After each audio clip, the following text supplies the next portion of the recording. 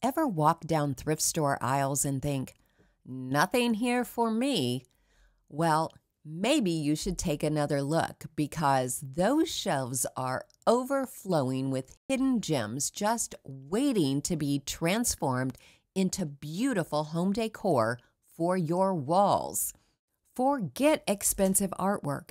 We're not paying $2,000 for a framed dish towel. Instead, with a little creativity, we can turn forgotten treasures into statement pieces that will add personality and style to our homes. So, let's get started and transform our thrifted finds into unique and amazing wall art. I'm on a mission to repurpose and save pretty hand embroidered items from the thrift store. And shame on you if you've given away your grandma's embroidered hankies or tea towels. I thrifted this little guest towel for only $1. To display it, I found a piece of picket fencing in my wood scraps, and then I cut out a rectangle of foam board to fit on the piece of wood. I placed the piece of fabric on the foam board and wrapped the edges over to the back side. I hot glued three of the edges to the foam board, but I left one side open so that I could push a little pillow stuffing in between the fabric and the foam board. Then I hot glued the fourth edge closed. To attach the piece of fabric to the fencing, I added a few staples along the edges. And then to clean up the edges, I cut four strips of Dollar Tree jute ribbon and hot glued them along the edges, concealing the staples. Because there wasn't a lot of color in the embroidery, I thought it would be cute to glue a green velvet bow in the corner to add an additional pop of color. And finally, I added a sawtooth hanger on the back so I could hang the piece of fencing on the wall.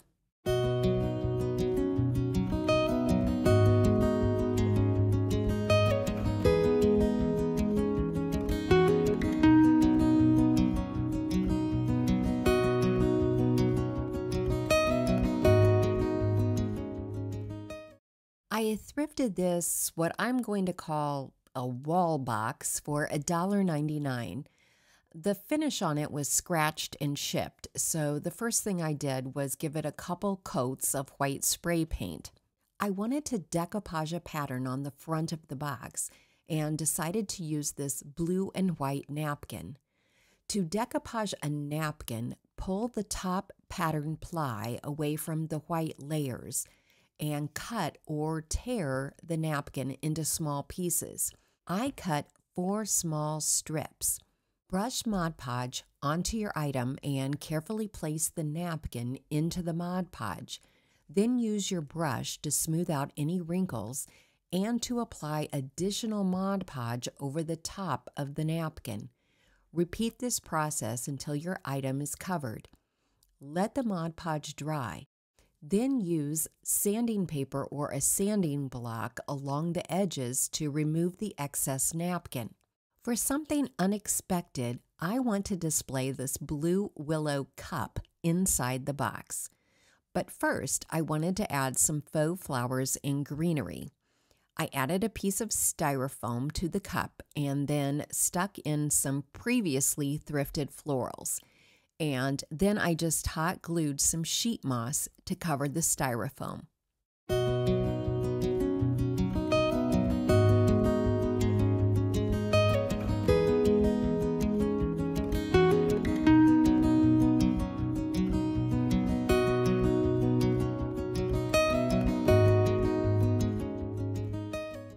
To create wall art using a thrift store plate, I applied a typography rub on transfer to the white center of the plate. The new IOD Lover of Flowers packet contains several poem transfers about flowers. To display the plate, I'm going to use this metal wall decor piece, but first I spray painted it pale blue. Then I brushed it with white wax and wiped off the excess. To attach the plate to the metal piece, I first attached a plate hanger to the plate and then I removed the springs, leaving just the two brackets. I set the metal wall decor over the plate, making sure the plate was perfectly centered in the design. Then I took some heavy florist wire and wired the brackets to the metal design, twisting the wire until it was firm and tight. Since there was a rose design on the plate and the poem transfer was about roses, I decided to wire a few faux roses in the corner too. Then I just tied on some ribbon to conceal the wire.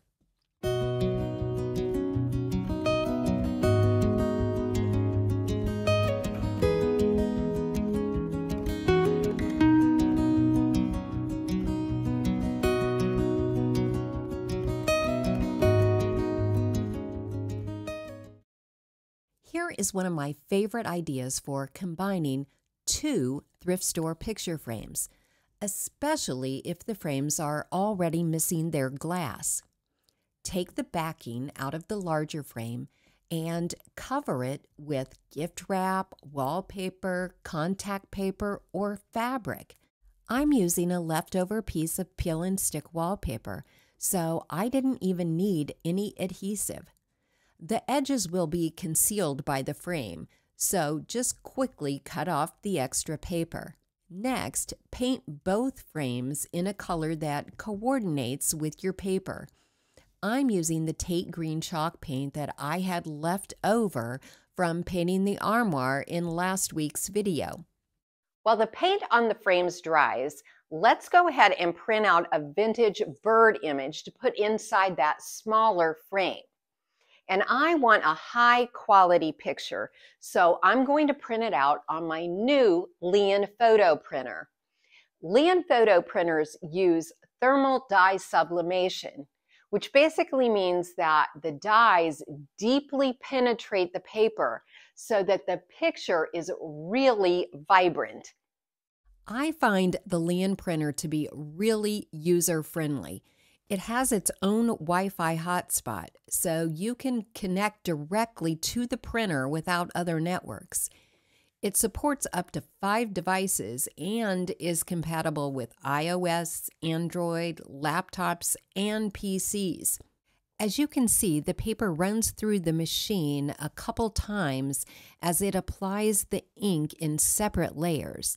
And the last layer actually protects the photo from water, scratches, and fading. And it works great whether you're printing out vintage artwork or family photos. Once the paint on the frames was dry, I lightly sanded over them and then brushed on some watered down antiquing wax and wiped away the excess wax with a cloth. I removed all of the hardware from the back of the small frame and just used paper packing tape to attach the photo to the back of the frame. I measured and marked in pencil the center of the wallpaper to determine where to place the small frame, and then I just attached it with hot glue. I reinserted the piece into the larger frame there was no hardware on this frame to hold the backing in place, so I carefully stapled into the frame and then I used a flathead screwdriver to pull the staples out a bit and press them down against the backing. Finally, I applied paper packing tape along the edges and over the staples for additional support.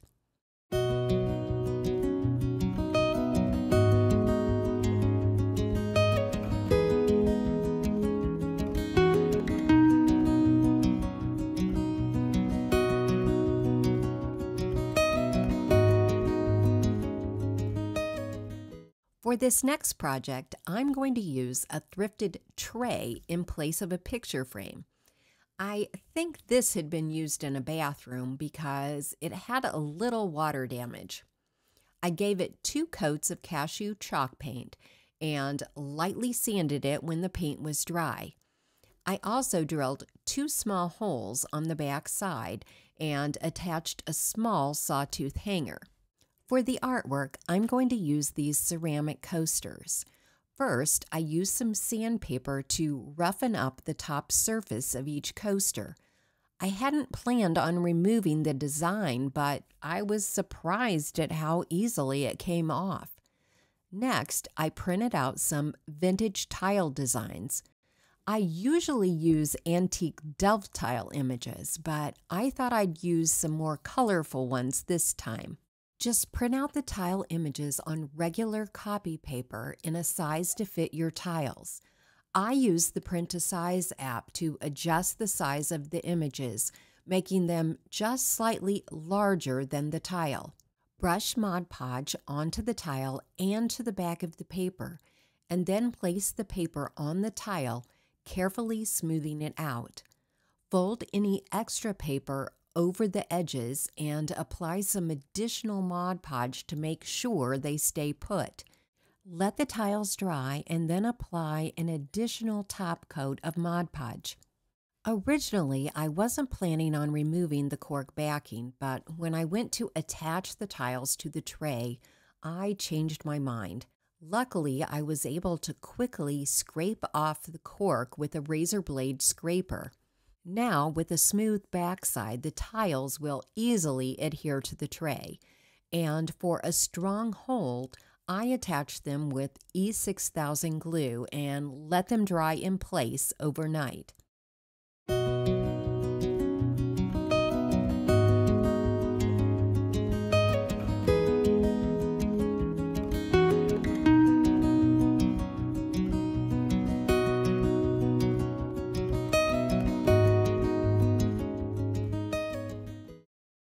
This was already a cute little mirror, but rather ordinary. So let's turn it into something completely unique. First, I brushed some antiquing wax over the frame to disguise some of the scratches and chips. Then I removed the label holder and put it in a bin of miscellaneous hardware because you know I'll be using it in a future project. I rummaged through my wood scraps and found this random wood chunk that I thought was the perfect size to create a small shelf. I played around with the placement and then attached it to the mirror frame by nailing through the back side into the wood chunk. You could see some of the screw holes where the hardware had been, so I hot glued some small bits of moss in those spots. Then I pulled out some faux succulent plants and glued them into the cracks of the wood, adding some additional moss to help hold them in place. I went to grab a votive candle to sit on top of the wood chunk and found a mushroom candle from Home Goods that I had forgotten I had. How serendipitous!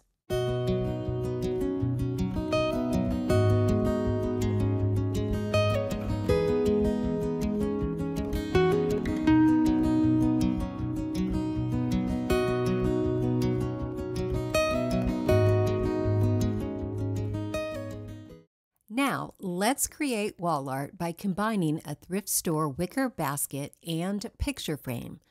This frame had no glass or backing, so I created a back by tracing around the inner portion of the frame onto a piece of foam board and cutting it out. Next, I printed out a vintage portrait image to fit inside the frame. I made sure I selected one that was in the public domain. And I cut out the portrait and then used glue stick to adhere it to the foam board. Have you seen these butterfly embellished portraits in stores? Well, I thought I would duplicate that look by applying some butterfly transfers to my portrait. Many transfer packages include butterflies, and the IOD entomology package has several. Although I liked how it turned out, I wish I had chosen more brightly colored butterflies that would have stood out more against the portrait. I removed the hardware from the back of the frame and just used hot glue to hold the foam board in place. I did this because the hardware stuck out a bit and I wanted the frame to lie flat against the wicker basket. For strong adhesion, I applied a good amount of wood glue to the back of the frame and then placed it in the center of the basket. Just know that some of the glue is going to drip through the wicker, so be sure to place the basket on some scrap paper or cardboard to dry. Now, let's take this wall decor up another notch. You could use store bought butterflies, but I printed out some butterfly images on cardstock making sure to print out two images of each butterfly. And to save time, I cut them out on my Cricut machine. Then I used glue stick to attach the two identical butterflies together with the printed design on the outside. Hot glue the paper butterflies to the wicker basket and to the frame if you like. Finally, run some twine through the wicker to create an easy way to hang the basket from the wall.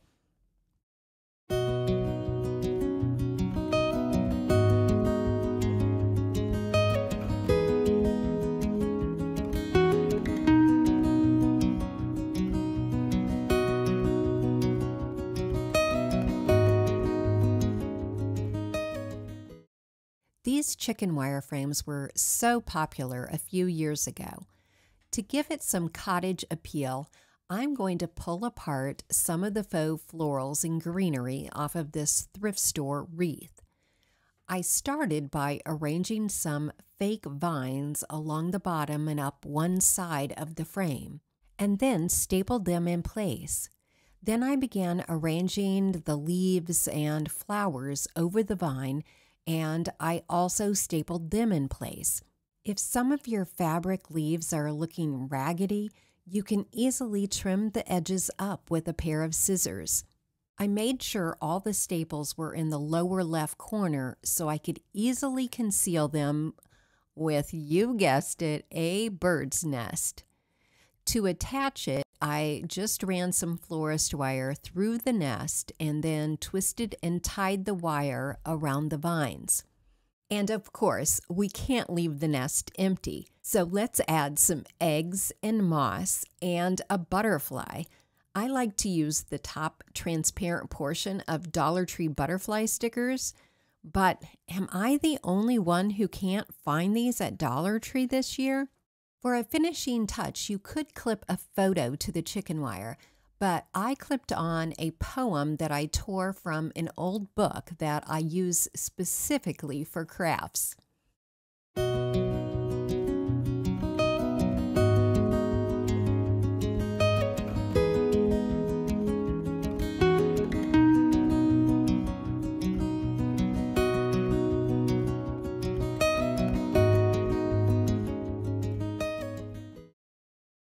I liked this wide wood frame, but not the artwork inside. So I cut through the craft paper on the back side to reveal the staples holding the art print in place. For this project, I'm not going to be using the glass either, but I did need something sturdier than cardboard to fill the opening. So I used a jigsaw to cut a small square from a piece of hardboard I added it to the frame and then I spray painted the entire piece with two coats of green spray paint, followed by a clear top coat. Once the top coat was dry, I selected another poem from the Lover of Flowers transfers to apply to the hardboard center. I wanted a large floral transfer that would cover the frame and part of the hardboard so I chose a white rose that I had left over from the brocante transfers. The transfers do tend to crack when you're trying to go from one level to another. So I first applied the transfer to the frame and then cut out the remaining portion of the design and applied it to the hardboard separately. Okay, let's rewind and try this project again there were still some cracks in the transfers, so I decided to sand over the frame to give it a more naturally aged appearance. And I completely sanded off the poem. It was a little crooked and it was really bothering me. So for the second try, I made sure to draw a straight line on the hardboard and line up one of the lines on the transfer paper with that pencil line. For a cohesive look, I lightly sanded over the typography too. Then I sealed the piece by rubbing on some clear wax with a soft cloth.